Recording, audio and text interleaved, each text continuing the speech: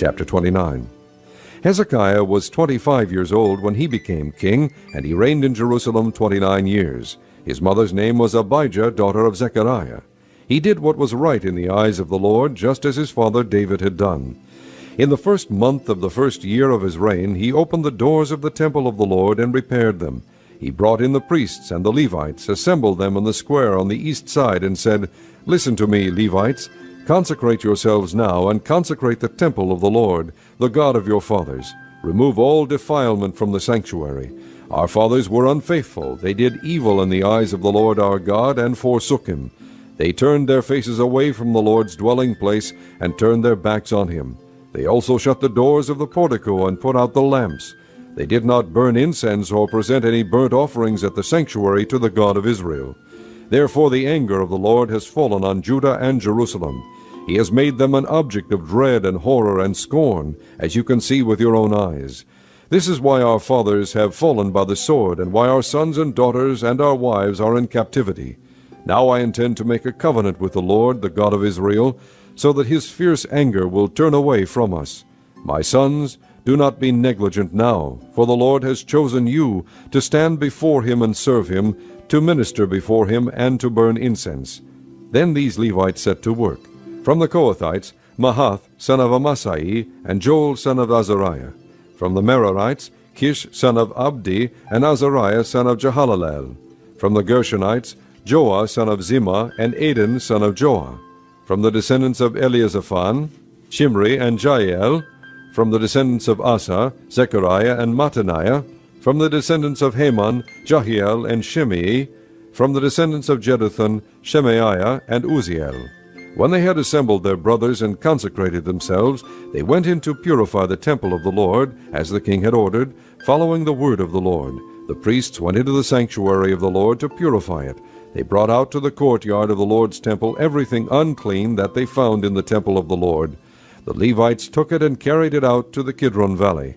They began the consecration on the first day of the first month, and by the eighth day of the month they reached the portico of the Lord. For eight more days they consecrated the temple of the Lord itself, finishing on the sixteenth day of the first month. Then they went in to King Hezekiah and reported, We have purified the entire temple of the Lord, the altar of burnt offering with all its utensils, and the table for setting out the consecrated bread with all its articles. We have prepared and consecrated all the articles that King Ahaz removed in his unfaithfulness while he was king. They are now in front of the Lord's altar. Early the next morning, King Hezekiah gathered the city officials together and went up to the temple of the Lord. They brought seven bulls, seven rams, seven male lambs, and seven male goats as a sin offering for the kingdom, for the sanctuary, and for Judah. The king commanded the priests, the descendants of Aaron, to offer these on the altar of the Lord. So they slaughtered the bulls, and the priests took the blood and sprinkled it on the altar. Next they slaughtered the rams, and sprinkled their blood on the altar. Then they slaughtered the lambs, and sprinkled their blood on the altar. The goats for the sin offering were brought before the king and the assembly, and they laid their hands on them. The priests then slaughtered the goats, and presented their blood on the altar for a sin offering to atone for all Israel, because the king had ordered the burnt offering and the sin offering for all Israel. He stationed the Levites in the temple of the Lord with cymbals, harps, and lyres in the way prescribed by David and Gad the king's seer and Nathan the prophet. This was commanded by the Lord through his prophets. So the Levites stood ready with David's instruments, and the priests with their trumpets. Hezekiah gave the order to sacrifice the burnt offering on the altar. As the offering began, singing to the Lord began also, accompanied by trumpets and the instruments of David king of Israel. The whole assembly bowed in worship, while the singers sang and the trumpeters played. All this continued until the sacrifice of the burnt offering was completed. When the offerings were finished, the king and everyone present with him knelt down and worshipped. King Hezekiah and his officials ordered the Levites to praise the Lord with the words of David and of Asaph the seer. So they sang praises with gladness and bowed their heads and worshipped. Then Hezekiah said, You have now dedicated yourselves to the Lord. Come and bring sacrifices and thank offerings to the temple of the Lord. So the assembly brought sacrifices and thank offerings, and all whose hearts were willing brought burnt offerings. The number of burnt offerings the assembly brought was seventy bulls, a hundred rams, and two hundred male lambs, all of them for burnt offerings to the Lord. The animals consecrated as sacrifices amounted to 600 bulls and 3,000 sheep and goats. The priests, however, were too few to skin all the burnt offerings, so their kinsmen the Levites helped them until the task was finished, and until other priests had been consecrated, for the Levites had been more conscientious in consecrating themselves than the priests had been. There were burnt offerings in abundance, together with the fat of the fellowship offerings, and the drink offerings that accompanied the burnt offerings. So the service of the temple of the Lord was re-established. Hezekiah and all the people rejoiced at what God had brought about for his people, because it was done so quickly. Chapter 15 I saw in heaven another great and marvelous sign, seven angels with the seven last plagues, last because with them God's wrath is completed. And I saw what looked like a sea of glass mixed with fire, and standing beside the sea those who had been victorious over the beast and his image, and over the number of his name. They held harps given them by God, and sang the song of Moses, the servant of God, and the song of the Lamb. Great and marvelous are your deeds, Lord God Almighty. Just and true are your ways, King of the ages. Who will not fear you, O Lord, and bring glory to your name? For you alone are holy. All nations will come and worship before you for your righteous acts have been revealed. After this I looked, and in heaven the temple, that is the tabernacle of the testimony, was opened. Out of the temple came the seven angels with the seven plagues. They were dressed in clean, shining linen, and wore golden sashes around their chests. Then one of the four living creatures gave to the seven angels seven golden bowls filled with the wrath of God, who lives for ever and ever. And the temple was filled with smoke from the glory of God and from his power, and no one could enter the temple until the seven plagues of the seven angels were completed. Chapter 11 Open your doors, O Lebanon, so that fire may devour your cedars. Wail, O pine tree, for the cedar has fallen. The stately trees are ruined. Wail, oaks of Bashan, the dense forest has been cut down. Listen to the wail of the shepherds. Their rich pastures are destroyed. Listen to the roar of the lions. The lush thicket of the Jordan is ruined. This is what the Lord my God says Pasture the flock marked for slaughter. Their buyers slaughter them and go unpunished. Those who sell them say, Praise the Lord, I am rich. Their own shepherds do not spare them. For I will no longer have pity on the people of the land, declares the Lord. I will hand everyone over to his neighbor and his king. They will oppress the land, and I will not rescue them from their hands. So I pastured the flock marked for slaughter, particularly the oppressed of the flock. Then I took two staffs, and called one favor, and the other union, and I pastured the flock. In one month I got rid of the three shepherds. The flock detested me, and I grew weary of them, and said, I will not be your shepherd. Let the dying die, and the perishing perish. Let those who are left eat one another's flesh. Then I took my staff called favor, and broke it, revoking the covenant I had made with all the nations. It was revoked on that day, and so the afflicted of the flock who were watching me knew it was the word of the Lord. I told them, If you think it best, give me my pay, but if not, keep it. So they paid me thirty pieces of silver. And the Lord said to me, Throw it to the potter, the handsome price at which they priced me.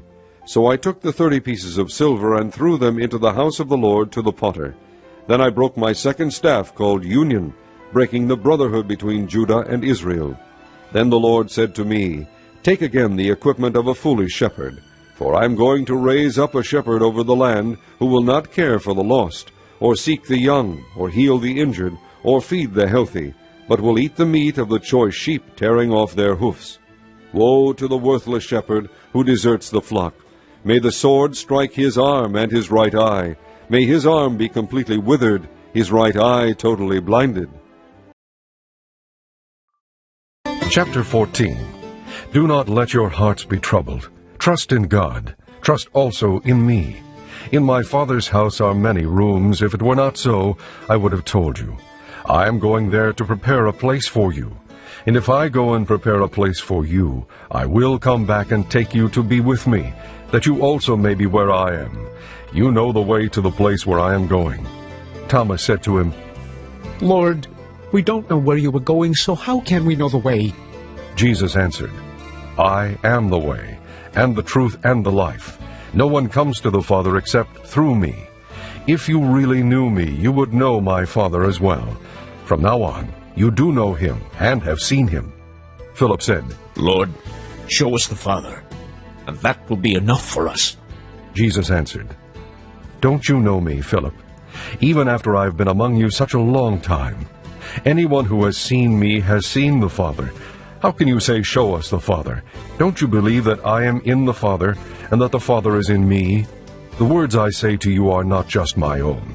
Rather, it is the Father living in me, who is doing his work.